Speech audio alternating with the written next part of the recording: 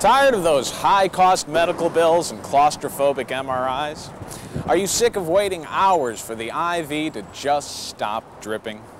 Then come to the Norman Cousins Funny Store.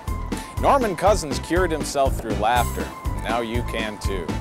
You can get a professional diagnosis and quality treatment all in the same day. Medical costs have skyrocketed, but now with a modest consultation fee and two drink minimum, the Funny Store can get you back on your feet again. At The Funny Store, we prove every day that laughter is the best medicine.